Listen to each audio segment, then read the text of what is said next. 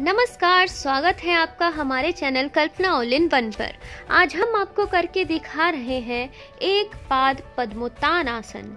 इस आसन को करने के लिए सबसे पहले आप अर्ध पद्मासन में बैठें, अपने एक पैर को सीधा करें, दूसरे पैर को मूलाधार से लगाकर रखें।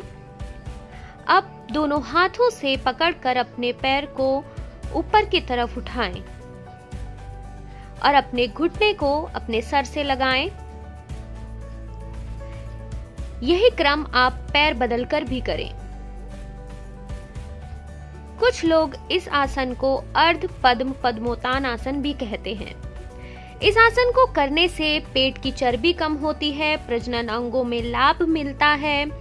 पैर सुडोल होते हैं जांगों का फैट कम होता है, पैर मज़बूत होते हैं।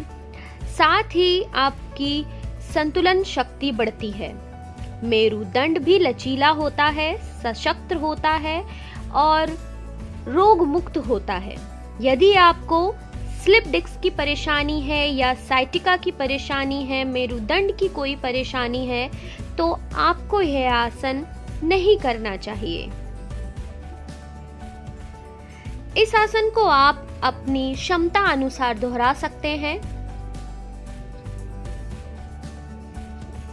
दोनों पैरों को बदल बदल कर आप इस आसन को दोहरा सकते हैं। कम से कम आप यह आसन पाँच मिनट तक अवश्य करें। यदि आपने हमारा चैनल अभी तक सब्सक्राइब नहीं किया है तो प्लीज़ चैनल को सब्सक्राइब करें, वीडियो को लाइक करें, शेयर करें और कमेंट करें।